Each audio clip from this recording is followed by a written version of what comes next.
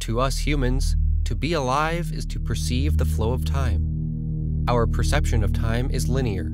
We remember the past, we live in the present, and we look forward to the future. In systematizing consciousness studies, some recent progress has been made, but the temporal dimension of consciousness, notably the D theory of time, might be at least as essential to our understanding of what we call human consciousness. Our experience of time can be understood as a fractal dimension, not even a half dimension. We are subjected to our species specific algorithmic sense of time flow. What's necessary for completion of quantum information processing, though, is a collapse of possibilities. Many worlds collapsing into an observer's temporal singularity, i.e., the present moment, which happens approximately every one tenth of a second.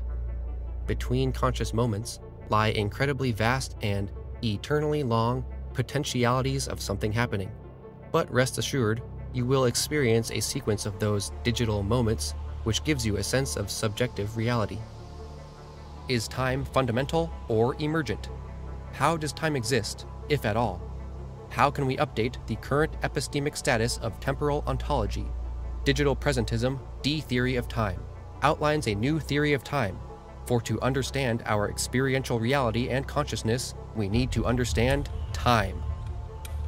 Consciousness and time are intimately interwoven. Time is change between static 3D frames.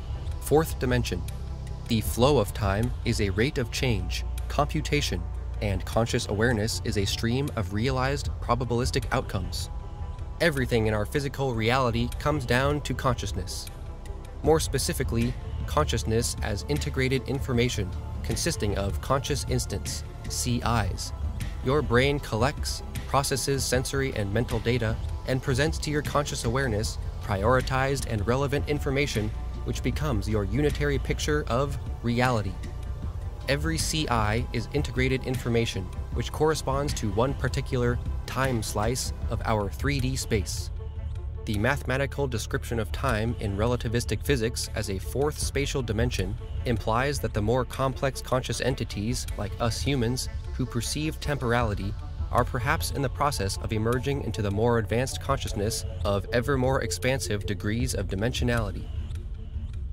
Time is a subjectively perceived change between 3D static worlds. Any observer system is an information pattern quantum leaping from instant to instant at a certain rate within the multidimensional matrix, producing a subjective flow of time. In the timeless multiverse, all dimensions are spatial. Your now is funneled from all your possible pasts, as well as funneled from all your probable futures, as if in the spotlight of consciousness. Everything is code, experiential data, and consciousness creating it all. We don't inhabit the universe, Rather, the universe is within us, in our consciousness. All dimensionality is in computing consciousness.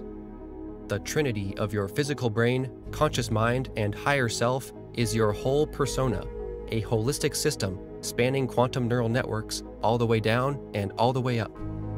Your higher self conceives, your physical brain receives, and your conscious mind perceives.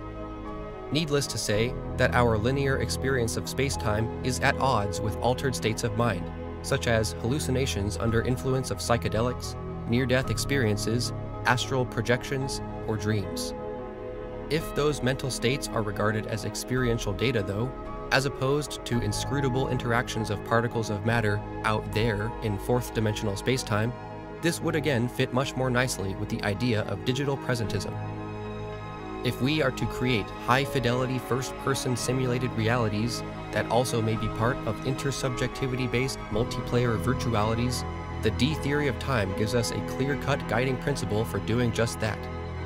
Transtemporal consciousness and retrocausality appear counterintuitive to our perception, but Einstein has shown how the future and past exist simultaneously in one geometric object made of spacetime.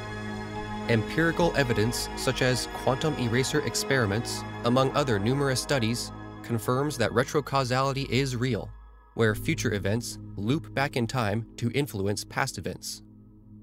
Computer science gives us a new, code theoretic, substrate independent model for looking at our brains and our neural code.